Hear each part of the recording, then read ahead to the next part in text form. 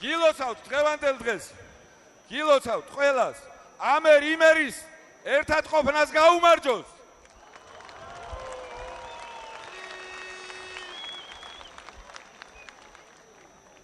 თქვენის ნებართვით ბატონებო მე სიტყვას გადავცემ ყველა თქვენ განისათვის ძვირფას და ღირსეულ ადამიანს ჩემს ძმას ბატონ გუბას სანიკიძეს.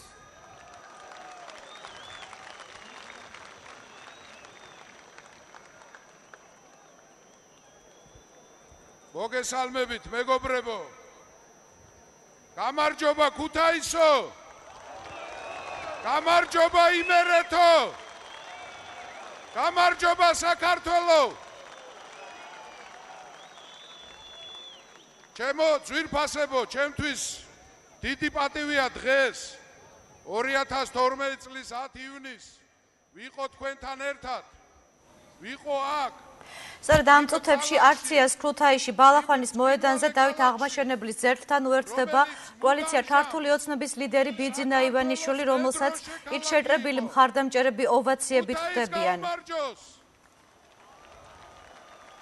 ბიძინა ივანიშვილი გაძლიერებული დაცვის კორდონით შეყავთ. ძალიან ძიმე მისი დაცვა გზას მიირკლევს სცენისკენ, სადაც ბიძინა ივანიშვილი ავა და რამდენიმე წუთში ის მოსახლეობას მიმართავს. მოთამაშე ქვეყანა არის. ჩვენ დღეს ვიმყოფებით სოფლიოს ერთ-ერთ უძველეს ქალაქში ქუთაისში სადაც თელი იმერეთი არის შეკრებილი იმერეთში გადაწყდა ვითარება დღევანდელმა დღემ ეს დაადასტურა. რა დღეში ჩააგდო სააკაშვილმა ჩვენი ქვეყანა? საქართველო დღეს სოფლიო პოლიტიკურ რუკაზე ბრმანაწლავად აქცია სააკაშვილმა. ყოველგვარი უპერსპექტივობა უსახსრობა უმუშევრობა არაგანათლება არაჯანდაცვა უმძიმეს დღეშია დღეს ქართველი ხალხი მაგრამ მიუხედავად ისა რომ წაგვართვეს ყველაფერი ღირსებას ვერასდროს ვერ წაგვართმევენ.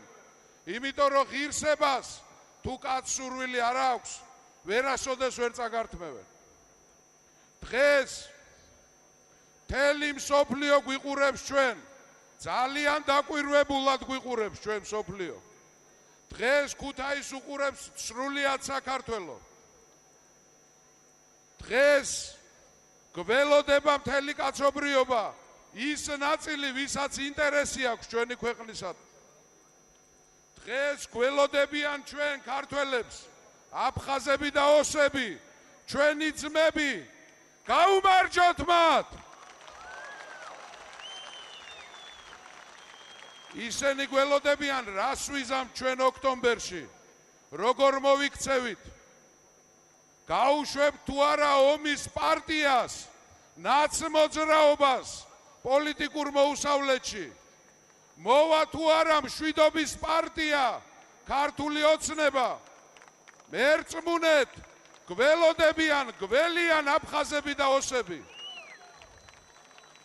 ხალხო, ჩემო ძვირფასებო. ოქტომბრის არჩევნები იქნება გზა გასაყარი ისევ ჩვენი ისტორიაში. როგორი იქნება ჩვენი სამშობლო? სამუზეუმო ექსპონატი სააკაშვილის უგვარო მუზეუმში თუ ახალი თანამედროვე ძველ ფესვებზე აღმოცენებული ახალი სახელმწიფო 21 საუკუნის ეკვივალენტი ამას დიდი მნიშვნელობა აქვს როგორი ქვეყანა გველოდება? ეს არჩევნები ხალხო უახლოეს 15 წელიწადს არკვევს ჩვენი ქვეყნისათვის. მომავალს არკვევს ჩვენ ცოცხალი ქართველები. ვინც დღეს ვართ ვინც დღეს აქ არის ქუთაისში ვინც გვიყურებს ვინც ქვეყნის გარეთ არის ჩვენი 1 მილიონი სისხლი და ხორცი რომლებიც გველოდებიან რას ვიზამ ჩვენ საქართველოსი დარჩენილები როგორ დავხვდებით ჩვენ მათ როგორ სახელმწიფოს მშენებლობას დავიწყებთ ხალხო 20 წლის განმავლობაში მეოთხეჯერ გვიწევს სახელმწიფო შენებლობა.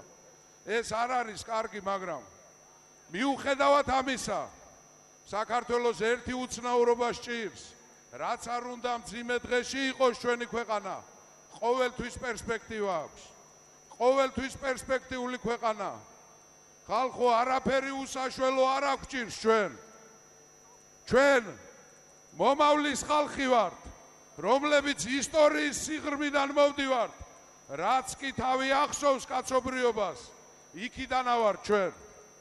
ჩვენ ათასწლეულებთან მოთამაშეები ვართ და კიდევ ათასწლეულებს გავეთამაშებით. ჩემო ძვირფასებო, უნდა დამთავრდეს არაფრის თქმელი უშინაარსო ანტიქართული ნაციონალური მოძრაობა და უნდა მოვიდეს ყოვლის მომცველი ეროვნული ქართული ოცნება. უნდა ავიხდინოთ ეს ჩვენ. ჩვენი ბედი ჩვენ ხელშია. ჩვენს მომავალს ჩვენ გამოვშედავთ.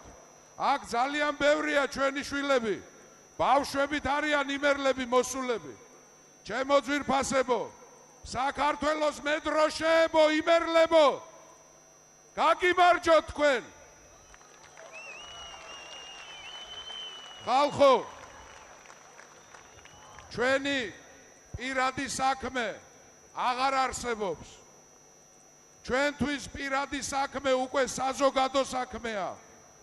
ჩვენ 4 თვიანი 4 თვიანი მარათონი უნდა გავიაროთ როგორც გადიოდნენ ჩვენი წინაპრები, როგორც იგებდნენ დიდგორს, როგორც იგებდნენ ხრესილს, ისე უნდა მოვიგოთ ჩვენ. უსისხლო ომი უნდა მოვიგოთ. ყველა საკუთარ თავთან დიდგორი უნდა მოვიგოთ. ყველა საგვაქვს მოსაგები დიდგორი საკუთარ თავთან. ომი დამთავრდა საქართველოში, ხალხო. შვიდობა გვინდა. ხანგრძლივი მშვიდობა, მარადი მშვიდობა. შენებლობა საქართველოს ჭირდება საქართველოს ჭირდება გიორგი მწყინვალის პოლიტიკა ამ პოლიტიკის გამტარებელი კაცი ჩვენთან არის ბიძინა ივანიშვილი ჩვენი კაცი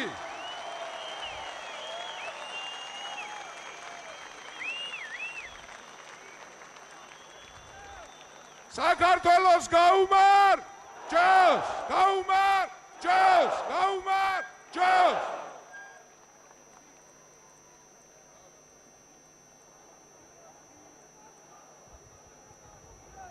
ვირფასებო ეხლა ხან მაცნობეს რომ ხელოვნურად უსუსურ ცელობას აქვს ადგილი რომ ის კოლონები რომლებიც შემოგვიერთებიან ის ხელოვნურად აფერხებენ მაგრამ მოდიან შემოგვიერთებიან შიშის ჯებირი გადავარდნილია და მოდიან ნიაღურები უკვე.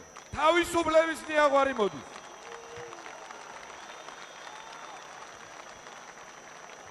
გამოიკვეთა რომ ბიძინა ივანიშვილს და კოალიცია ქართულ ოცნებას ყავს მხარდამჭერები. სააკაშვილს და ნაციონალურ მოძრაობას დარჩა დამჭერები. აი ეს არის განსხვავება. ზვირფასებო თქვენის ნებართვით მინდა რომ წარმატგინოთ თქვენ სინაშე რომელსაც ალბათ ყველა ჩვენგანი იცნობს. სამართლიანობისათვის მებრძოლი დიდებული ქალბატონი ელისო ჩაფიძე. მოგესალმები ჩემო იმერლებო ჩემო დებო და ძმებო ჩემო დედებო და მამებო ახალგაზრდებო და მოხუცებო ქუთათურებო მიყვარხართ ყველანი ყველანი გმირები ხართ ვაყი ვარ თქვენს გამო, იმის გამო რომ ჩვენ ერთად ვართ ხალხო. როდესაც ქვეყანას უჭირს ერი და ფერი ერთად უნდა დადგეს, ერთად უნდა გადავარჩინოთ ჩვენ ჩვენი სამშობლო. მიყვარხართ არა იმის გამო რომ გაერთიანდით ერთი პარტიის ან ერთი ადამიანის გარშემო, არამედ იმიტომ რომ გინდა თქვენი ქვეყანა გადაარჩინოთ. გაუმარჯოს საქართველოს, გაუმარჯოს ქუთაის, საიდანაც დაიწყება გაერთიანება ხალხო.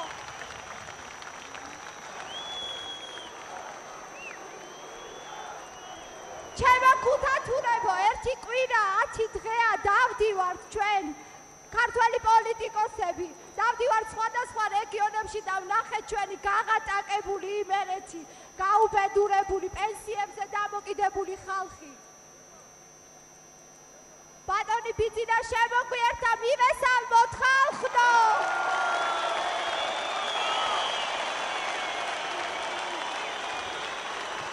ქართული ოცნების ლიდერი ბატონი ბიძინა ივანიშვილი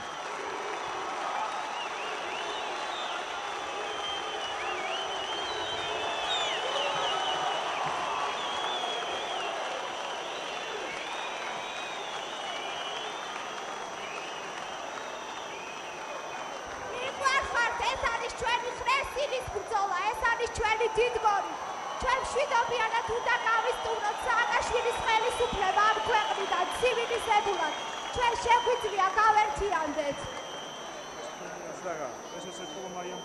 კაი ესა იყო ეს არ უნდა.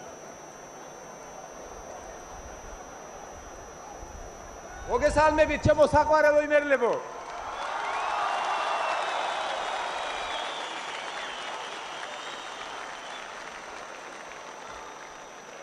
მიხარია რომ დღეს ქუთაისში ვარ.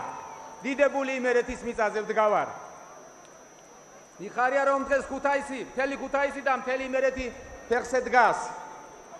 რამდენს ეცადნენ რომ წინ აღდგომოდნენ ჩვენ შეკრებას რა არქნეს ბაღის ბავშვების გამოყენებაც კი სადეს მაგრამ არაფერი გამოუვიდა ვეღარავინ შეძლებს ჩვენ შეჩერებას. ჩვენი გამარჯობა გარდაუვალია ამა ჩვენ ვაჩვენებთ თელ ქვეყანას. თელ ქვეყანას დავაყენებთ ფეხზე. ისე როგორც მთელი ქუთაისი დგას დღეს ფეხზე. ისე როგორც 27 მაისს დადგა ფეხზე მთელი თბილისი.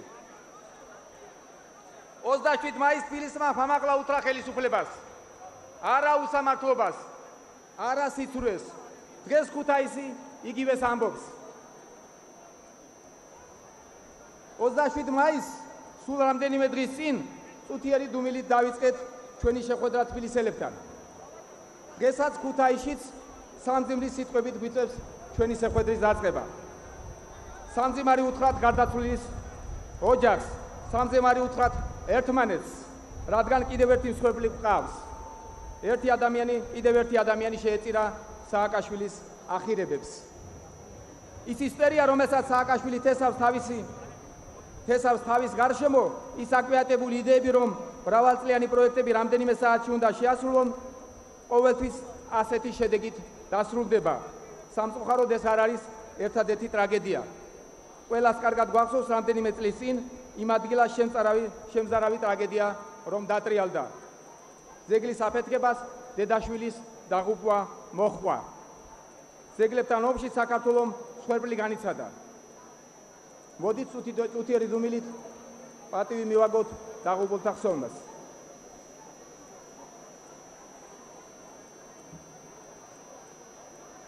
მადლობა. ეს უნდა დამთავრდეს. ჩვენ შევაჩერებთ ამას და ჩვენ ვერავინ ვეღარ შეგვაჩერებს. ჩვენ ჩვენი ბრაზი და მრისხანება უნდა დავიოკოთ.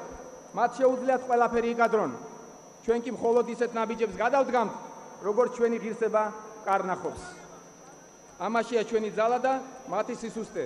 სწორედ ამიტომ ჩვენ ისინი ვეღარ შეგვაჩერებენ.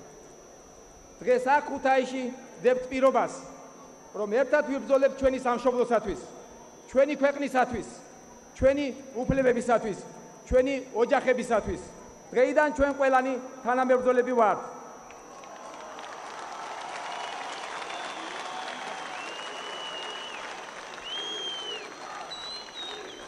მე ვპირდებით რომ ამ ბრძოლაში ბოლომდე ვიდგებით თქვენს გვერდით.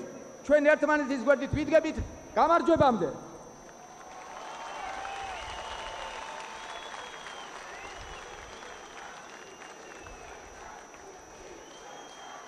ჩვენ უნდა დავანახოთ ამ ხელისუფლებას. ჩვენ უნდა დავანახოთ ამ ხელისუფლებას და მთელ სოფლიოს რომ საქართველოს იყო და ისე ვიქნება ქვეყანა რომელიც სოფლიო ცივილიზაციის ნაწილია. დღევანდელი ხელისუფლება ვერ შეძლებს უკან დაგვახევინოს და შეაჩეროს თანამედროვე საქართველოს სვლა ევროპისაკენ დემოკრატიისაკენ თანამედროვე სამყაროსაკენ. ბოლო 8 წელია გვესმის რომ საქართველოს ისტორია 2003 წლიდან დაიწყო. თითქოს სააკაშვილმა ნულიდან დაიწყო ქვეყნის შენება და თუ აქამდე რამე იყო, ყველაფერი იყო ცუდი, ჩამორჩენილი და დრომოჭმული. ისეთი სურათი ხდება თითქოს ჩვენ უნდა გწონოდეს წარსულის, ან საერთოდ თუ არ უნდა ვთქვათ მასზე. ამას ჩაგვაგონებენ და სხვადასხვა ფორმით ჩაგზახიან ყოველ დღე. მაგრამ თუ იმეს გონია რომ წარსულის გადახაზვით შეიძლება აწმოს განდიდება, ის ძალიან წარედ ცდება. საკუთარი წარსულის არცოდნე ხალხი თავისი გვარსახელის არცოდნე ადამიანს გავს. თუ არ იცი ვინ იყავი, ვერც იმას გაიგებ ვინ ხარ და ვინ იქნები. ამიტომაც თავისუფლებას მივცემ და თქვენთან ერთად გავიხსენებ ქუთაისის ღვაწლს, რომელიც მას საქართველოს წინაშე მიუძღვის. განუზომელია ქუთაისისა და იმერეთის სრული ქართული სახელმწიფოს ისტორიაში. სწორედ აქედან ქუთაისიდან დაიწყო საქართველოს გაერთიანება. აქ ააშენა ერთიანი საქართველოს სიმბოლო ბაგრატის ტაძარი ჩვენი ქვეყნის გამაერთიანებელმა გამაერთიანებელმა მეფემ ბაგრატ მესამემ. ამ ქალაქში ეკურთხა მეფე და განისვენებს ყველა დროის ყველაზე დიდი ქართველი დავით აღმაშენებელი. რომელსაც ჯერ კიდევ 16 წელიწადს ქუთაისის მიწა ჰქონდა საყრდენად მეფე დავითმა დასუსტებული საქართველოს იმიპოქის უძლიერეს სახელმწიფოდ აქცია. აღმაშენებლის წვლილი საქართველოს ისტორიაში განუზომელია. ის არა მარტო უდიდესი მხედართმთავარი და პოლიტიკოსი იყო, არამედ იმ დროის დიდი მოაზროვნეც იყო. სწორედ დავით აღმაშენებელმა ქუთაისთან ახლოს ააგო გელათის ტაძარი და დაარსა უმაღლესი სასწავლებელი აკადემია, რომელიც მეორე იერუსალიმად და მეორე ათენადაც იწოდებოდა. გელათი იქცა მთელი საქართველოს სიბრძნისა და სულიერი აღმავლობის კერად. ეს ტრაგედ ამ ქალაქში ეს ტრადიცია არ შემწყდარა. ქუთაისი გახდა საქართველოს უმნიშვნელოვანესი საგანმანათლებლო ცენტრი. სწორედ ქუთაისის კლასიკური გიმნაზიის კურსდამსწავლებელებმა დაარსეს თბილისის სახელმწიფო უნივერსიტეტი, რომელიც თავის დროზე იქ მოღვაწე მეცნიერების დონის ტოლს არუდებდა ევროპის მოწინავე უნივერსიტეტებს. ქუთაისი საქართველოს უდიდესი კულტურული ცენტრიც იყო. ამ ხრივ განსაკუთრებულად გამორჩეულია მე-19 საუკუნის ბოლოსა და მე-20 საუკუნის დასაწყისის ქუთაისის კულტურული ცხოვრება. შემთხვევითი არ არის რომ თანამედროვე ქართულმა თეატრმა კოტე მარჯანიშვილის ხელმძღვანელობით სწორედ აქ ქუთაისში აიდგა ფეხი. ამ ქალაქში ეუბნებოდა ეუფლებოდა ხატის ამბას პეტრო ოცხილი, ხატვარი გენიალური მოდერნისტი. ქუთაისი იყო აკაკის, galaktionis, ზაქარია ფალიაშვილის ქალაქი. ქუთაისი ცისფერ ყანწელების ქალაქიც იყო. ქუთაისის სამაყოდ უნდა ითქვას, რომ მე-20 საუკუნის დასაწყისში თბილისის კულტურულ ცხოვრებაში ქუთაისმა უმნიშვნელოვანესი როლი ითამაშა და მას განსაკუთრებული ხიბლი შეძინა.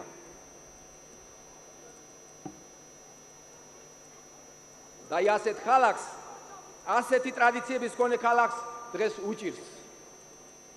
უჭირს ისევე, როგორც უჭირს თელ საქართველოს. მე ყოველთვის ვთილობდი, რამდენადაც შემეძლო დახმარებოდი ჩემს სამშობლოს, ჩემს ხალხს, მაგრამ დავრწმუნდი, რომ რაც არ უნდა ბევრი ფული ქონდეს, რამდენ ადამიანსაც არ უნდა გაუმართო ხელი, ასობით ისტორიული შენობას რომ აღადგინო და შეაკეთო ქვეყნისა და ხალხის მდგომარეობას საგზნობლად მაინც ვერ შეცვლი. ყოველთვის ვფიქრობდი, რომ ქვეყნისა და ადამიანის კეთილდღეობისათვის ყველაზე მთავარი ეკონომიკა და ბიზნესი იყო. მაგრამ ბოლო დროის გამოცდილებამ დამარწმუნა, რომ ქვეყანაში სადაც პოლიტიკა ერთი საღაზრს მოკლებული კაცის ხელშია, ვერც ეკონომიკა და ბიზნესი განვითარდება და ვერც ქვეყანა შეიცვლება უკეთესობისაკენ. სწორედ ამან გადამაწყვეტინა პოლიტიკაში მოსვლა.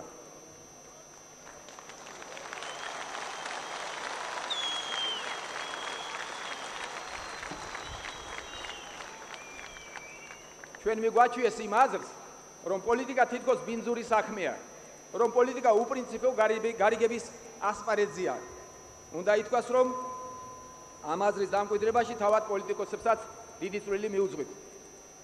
მაგრამ მე მჯერა რომ არსებობს პრინციპული პოლიტიკა, ღირსეული პოლიტიკა, გააზრებული, პრაგმატული პოლიტიკა, რომელსაც წესიერი ადამიანები ქმნიან და ჩვენ დავამკვიდრებთ ასეთ პოლიტიკას. ჩვენ ამას შევძლებთ.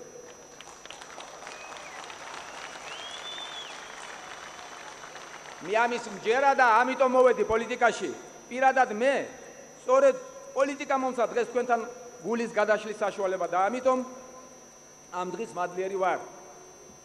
პოლიტიკა რომ არა ალბათ ვერადოს გავბედავდი ამდენი ხალხის წინაშე გამოსვლას და იმის თქმას რომ უზომოდ მიყვარ ჩემი ხალხი, ჩვენი სამშობლო.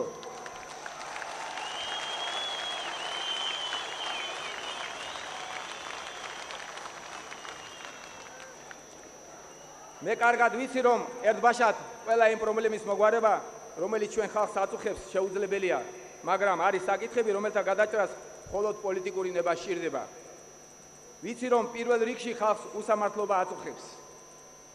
ხალხი სამართალს ვერ პოულობს იმიტომ რომ ამ ხელისუფლების ნახები სასამართლო რეფორმა თლიანად ჩავარდნილია. უფრო მეტის ქვეყანაში ფაქტობრივად არ არსებობს სასამართლო პრეზიდენტის ხელში მორჩილი სასამართლო ქვეყნის მართვის ხალხის დათგუნისა და დაშინების ერთ-ერთი მთავარი ბერკეტია. ასე სამართლებრივი სახელმწიფო ვერ აშენდება, ეს უნდა დამთავრდეს. ამიტომ ხელისუფლებაში ჩვენი მოსვლის პირველი დღეებიდან სასამართლოს გავათავისუფლებთ ყოველგვარი წრეხისაგან. მოსამართლეები კანონის უზენაესობით იმოქმედებენ და არა პროკურორების მითითებით.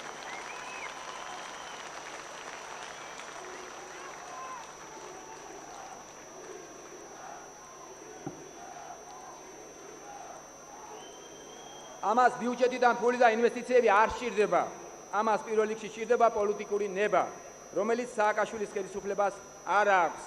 ჩვენ ამას ჩვენ ასევე გავათავისუფლებთ პოლიციას პოლიტიკური დაკვეთებისაგან. პოლიცია შეასრულებს თავის პირდაპირ დანიშნულებას. ის იქნება არა ხელისუფლების, არამედ ხალხისა და სახელმწიფოს სამსახურში.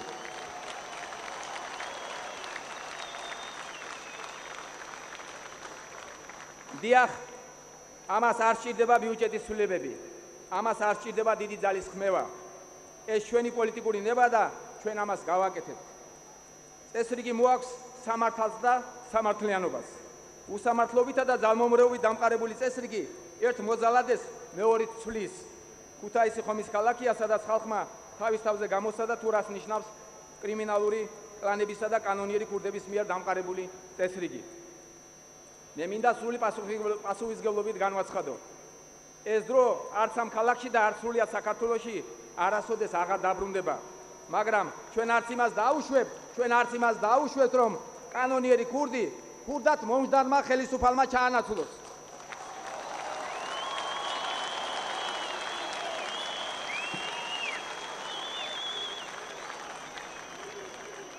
კრიმინალების ძრავრობის ძრავრობის დროს პატიოსან მოქალაქეს იმის იმედი მაინც რჩება რომ სახელმწიფო ადრე თუ გვიან მოძლიერდება და აღკვეთავს უკანონობას.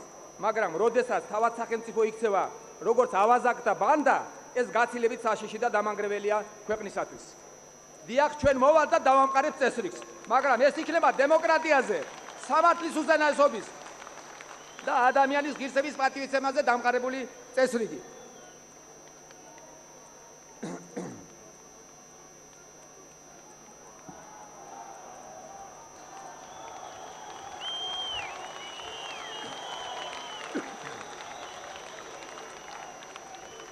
ამ რამდენიმე დღის წინ ამ რამდენიმე დღის წინ სააკაშვილი დაკმურდა დაკმირდა წყალტუბოს რეაბილიტაციას. ხარაჩუებში ჩასმას სააკაშვილმა და ხარაჩუებში ჩასმას. სააკაშვილმა თითქმის მთელი საქართველოს ჩასვა ხარაჩუებში და რეაბილიტაცია დაარქვა ავარიული და გაუმაგერებელი შენობების ფასადების შეკეთება შეღებვას. უმეტეს შემთხვევაში ასეთი შენობები გახსნის შემდეგ ექსპლუატაციისათვის გამოუსადეგარია ან ხელახლა შესაკეთებელი. ქუთაისმა სამწუხაროდ საკუთარ თავზე იწნია რა შედეგები შეიძლება მოხვეს ასეთ შენებლობებს.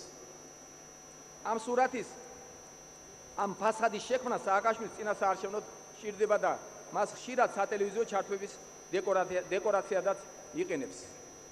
განსაკუთრებით საგანგაშოა ის, რომ საკუთარ ახირებებს ჩვენი მოსახლეობის ფულით, ბიუჯეტის ფულით ისრულებს. ეს წყალში გადაყრილი ფულია, ჩვენი შეჭირებული მოსახლეობის ფულია.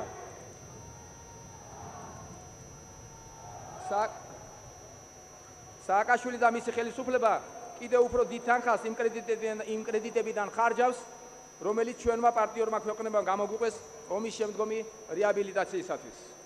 ეს კი ის თანხებია, რომელიც ჩვენი შვილების და შვილიშვილების გადასახდელი იქნება. და ეს ყველაფერი სააკაშვილის ილუზია სააკაშვილის ილუზიის შესაქმნელად შირდება.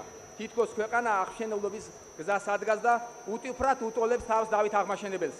ეს უღირსობაა. ჩვენ ამ უღირსობას, ღირსებას დაუპირისპირებ. ამ ქვეყანაში ცხოვრები თვითოული ადამიანის, თვითოული მოქალაქის, მოქალაქის ღირსება არის ის ფუნდამენტური ღირებულება, რაც უნდა ეფუძნებოდეს ქართული სახელმწიფო და ჩვენ რასაც უნდა ეფუძნებოდეს ქართული სახელმწიფო და ჩვენ სწორედ ასეთ სახელმწიფოს ავაშენებთ.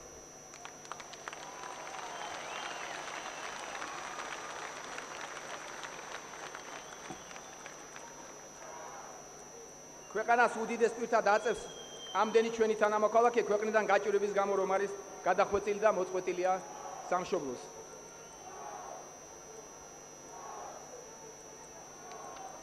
საქართველოს გაუმარ ჯოს! გაუმარ ჯოს! გაუმარ ჯოს!